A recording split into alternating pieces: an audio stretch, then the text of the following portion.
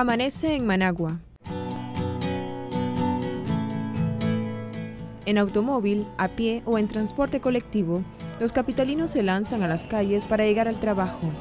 Un verdadero ejército laboral cruza los 78 semáforos ubicados a lo largo de la red vial. Pero algunas personas se quedan ahí, en el semáforo.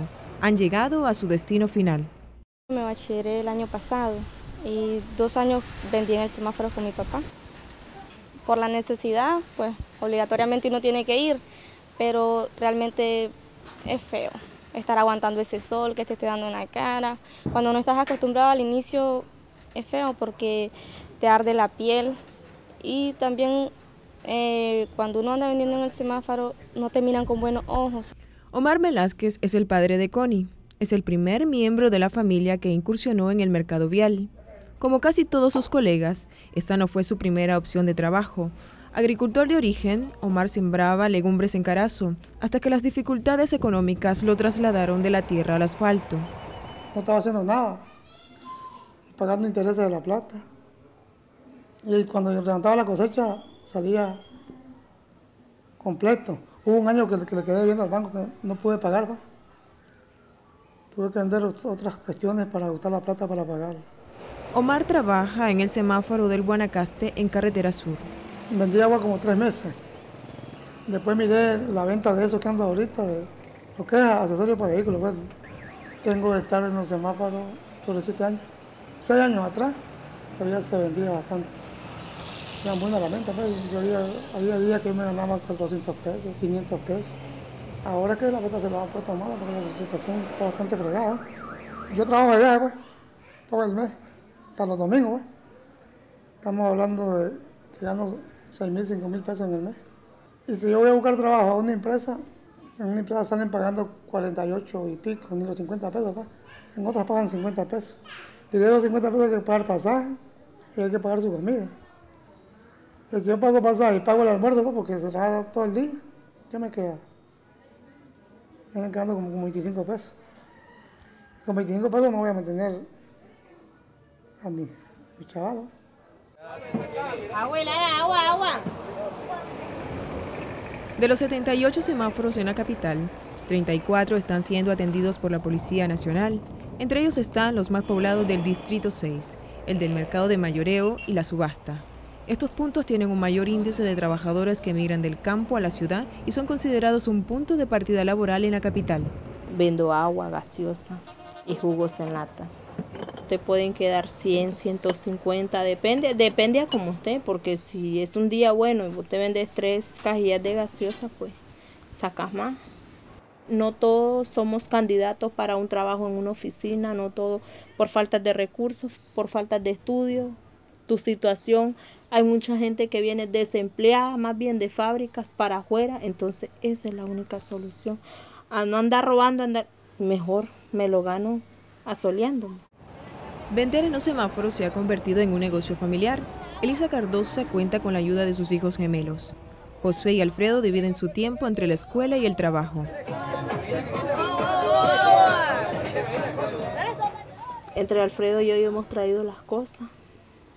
Alfredo se puede decir que es mi mano derecha allá, porque se me acaba la gaseosa. Yo le digo, gemelo, vaya a hacer mayoreo. Mire que era para la casita. Entonces yo me apuraba más, más, más, más, vendía.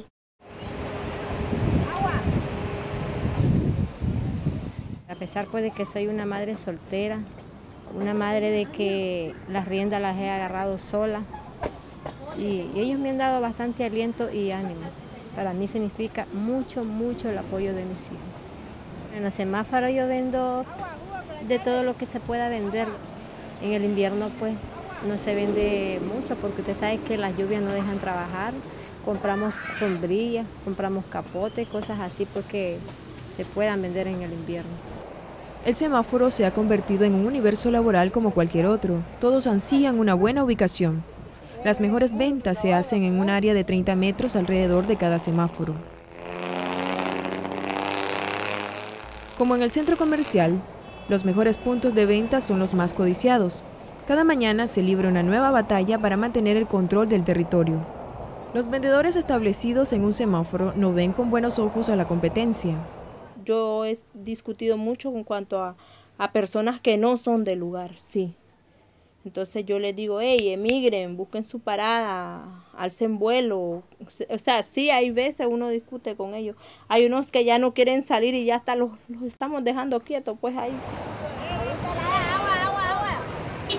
Muchos menores de edad acompañan a sus padres al trabajo. Aquí, la mendicidad y el comercio informal son las únicas oportunidades.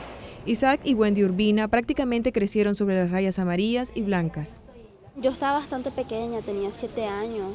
Nosotros aguantábamos hambre, pasábamos necesidad, necesidad horrible, estábamos posando, no teníamos casa propia, no teníamos ropa, no teníamos zapatos, no teníamos estudios, nada.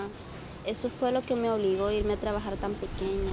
En Osmafral González primero comencé limpiando vidrio, después fui creciendo un poquito más, después comencé a vender agua y así. En veces está mejor la venta de fruta, se vende, en veces no se vende. A veces está buena la venta de agua, se ganan sus 50 córdobas y ya almuerzan, porque algunos no lo hacen pues, por llevar más dinero. Bajo el inclemente sol del mediodía, los vendedores que vocean periódicos en la mañana pasan a ofrecer bolsas de agua. La permanencia en los semáforos supone un gran riesgo para la salud. Pocos seres humanos resistirían una larga jornada de pie bajo el inclemente sol del trópico, aspirando constantemente los gases que emanan de los vehículos. Estoy quemada, muy quemada porque no era este mi color. A veces yo permanezco con la cara roja, pero no es la presión y no es el sol, eh, ya el color que yo estoy tomando por el sol. Salí con una fuerte infección en los riñones.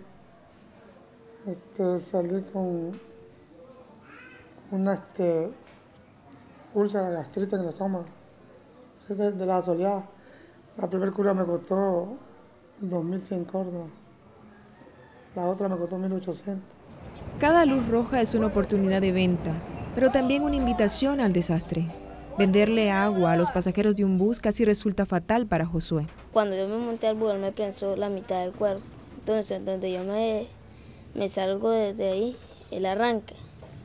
Yo me agarro los tubos. Cuando yo me dio para, yo creo que, yo creía que él se iba a parar a ver qué era. Pero yo me suelto y él arrancó rápido. El policía estaba ahí, el policía de tránsito, pero no le dijo nada. Como hay arena, ahí quedó el rastro de, de, de la sangre. Los semáforos que tienen mayor número de accidentes en el año 2003 son el del Sumen con 15, el 7 Sur con 12, la Robelo con 10, el Jonathan González con 7, el Indavista con 7 y el Acmiel con 7. Aunque no todos estos accidentes involucran a vendedores, ellos están en la posición más vulnerable para sufrir las consecuencias. Los taxistas y la ruta. Por lo menos la 113, la 125, la 172. Si el semáforo está en rojo y vienen colgados, ellos se tiran. Y ahí ya han habido casos de que, que se han pasado llevando a esa personas. Los semáforos también se convierten en potenciales focos de delincuencia, con un alto número de víctimas atrapados dentro de sus vehículos. Una ventana abierta puede ser una invitación al robo. Nosotros en el esfuerzo más de cara a buscar cómo eh, regular un poco la actividad delictiva en estos semáforos y contener la misma, hablamos con la gente y dijimos, bueno señores, aquí tenemos que ver qué alternativas hay de solución a este problema, se están cometiendo muchos robos. Levantamos un censo y nosotros tenemos registrados con nombre y apellido y el origen de cada uno y la edad y la actividad que se dedican. No es la coerción, la represión la que va a solucionar este problema. Los semáforos que tienen mayor récord de delitos, robos con intimidación o violencia son Ministerio del Trabajo, Jonathan González, Gancho de Camino, La Nicarau y Vía Miguel Gutiérrez.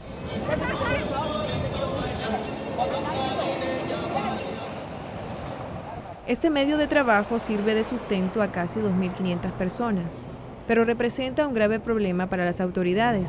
En el nombre de la seguridad y la urbanística, se ha intentado desalojar a los vendedores, pero no se les ofrece alternativas laborales. La resistencia al desalojo es feroz. Estamos bien claros, ¿verdad?, que por el momento no hay desalojo, pero estamos con el temor de que cuando el nuevo alcalde que venga a agarrar el puesto, ¿qué irá a hacer con nosotros? Se va a encargar de sacarnos definitivo. Y entonces, ¿qué va a pasar con nosotros si esa es la fuente de trabajo de nosotros? Si lo sacan de ahí, somos dos mil y pico trabajadores. No hay trabajo y el trabajo que llegas allá te lo pagan barato. Como dicen muchos ahí, aquí lo que, lo que hay, lo que quiere esta gente que, que todo el mundo salga a robar. La alcaldía de Managua, la policía y el organismo sindical FNT intentan ordenar al sector y mejorar su imagen, emitiendo certificaciones y carnet de identidad. Pero estos esfuerzos no son bienvenidos por los comerciantes. Erradicar, erradicar, ellos no van a erradicar que nosotros trabajemos porque si hubieran fuentes de empleo que no fuera arriesgando nuestra vida, que no fuera en una parada de un bus, o sea, mucha gente estuviera ahí. Cae la noche en Managua. Los vendedores regresan a sus casas, pero mañana volverán a marcar su territorio en el semáforo.